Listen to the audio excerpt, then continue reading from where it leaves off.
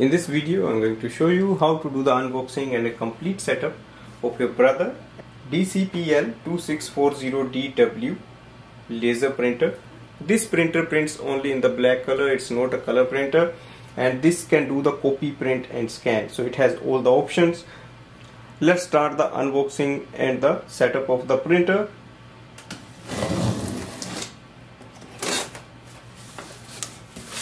We get the ink toner that is here. So you can lift it and remove the ink toner. These are some setup manuals and other things for the subscription. Power cable is here. To remove the protective tape lift it and remove it from here so that's our printer. On the top we have the ADF tray. It can load up to 50 pages for copy or scanning. You also get the scanner bed there's a display screen and some buttons here. Paper tray it can hold up to 250 pages. And the print speed of the printer is about 36 pages per minute. So that's really fast. This is a wireless printer so we will do complete setup. First we will install the ink toner that is the start or set up ink toner. For that we have to open the front chamber. Remove this protective tape from here. Take the ink toner out of this plastic packaging. Remove the seal from both sides you can just move it and it will automatically come out. Installation is simple look for the brother logo it should be facing up. Chip should be facing up. And the handle is facing forward. Just place it here. Slide it at an angle downwards and push it in. Once it is locked you can close it. Plug in the power cable. At the back of the printer you also have option for the ethernet cable. And that is for USB connection and the power cable will go on that end. Switch on the printer, press the power button, take the paper tray out, it can completely come out, adjust the size for the letter size, adjust this section and load the plain paper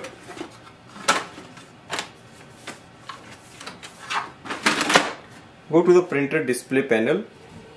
On the display panel we can see the main screen of the printer. Next step is to do the Wi-Fi setup of the printer. On the main screen click on the menu button.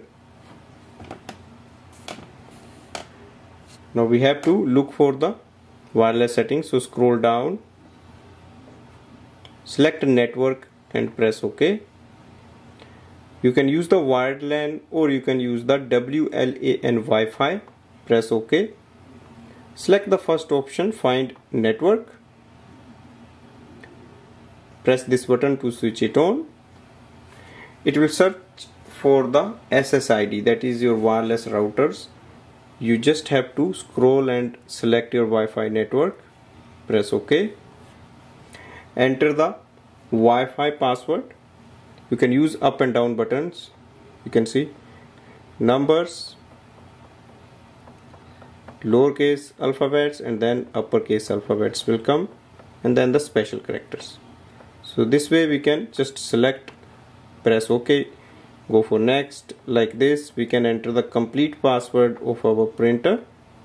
And then press ok button to apply that. When you press and hold the ok button it will ask you to apply the setting? Yes.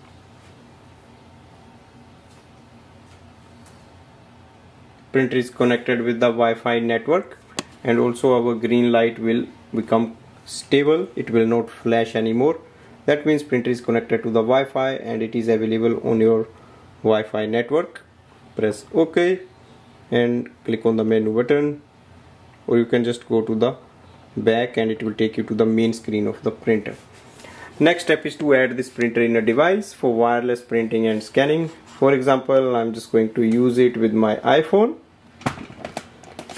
If you want to use it with the different devices you can just download the drivers. And if you want to know how to do that setup you can watch my video on that. Right now I'm just going to use my iPhone.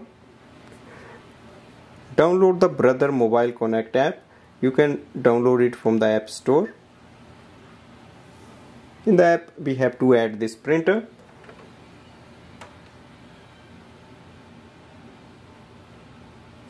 Click on the printer icon on the top.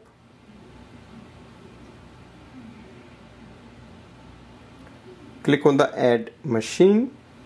Select the first option register your machine. Once you see your printer select it now make sure your smartphone is already on your home Wi-Fi network. Only then it will show up here. Skip.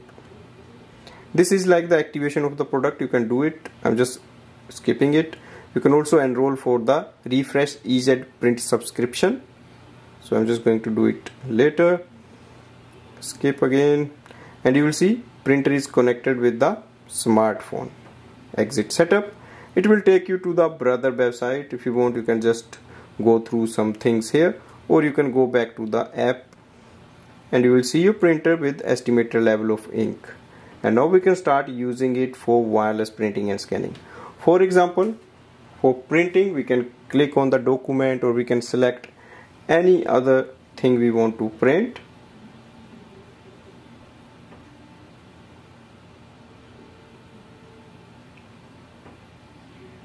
And click on the print button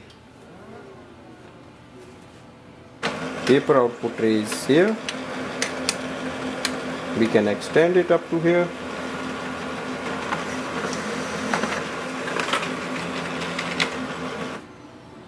So that is very simple. If you want to do the scanning you can place the pages facing up on the ADF tray or you can also use the scanner bed. So right now I'm just going to use the ADF tray. Click on the scan icon that is here. If you want to make any changes you can do that. Once you are ready click on the scan icon.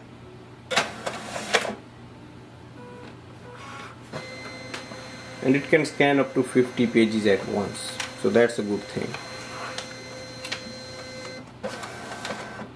Scan is transferred. If you want to add more pages you can do that. Or you can just click on the done and it will be saved in a particular location for that you can select from here.